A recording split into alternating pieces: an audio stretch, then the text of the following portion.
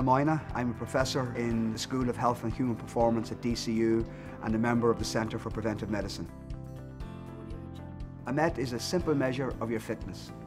The higher your MET score, the fitter you are.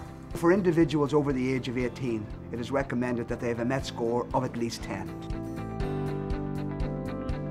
The Workplace Fitness Challenge is designed firstly to make people aware of their current fitness level and where necessary to increase their levels of physical activity and their fitness.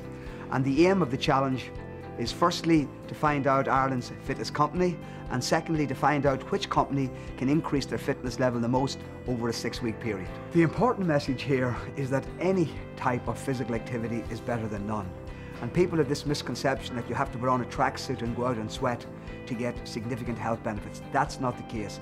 Any type of activity, standing at work, taking the stairs, going for a five minute walk, maybe twice a day, those simple activities can have a tremendous impact on your, your fitness and your overall health. So the challenge, and really for those people who have been procrastinating for quite a, quite a long period of time, challenge is for you guys to find a way to incorporate these activities into your daily life because it will have a tremendous impact on your health.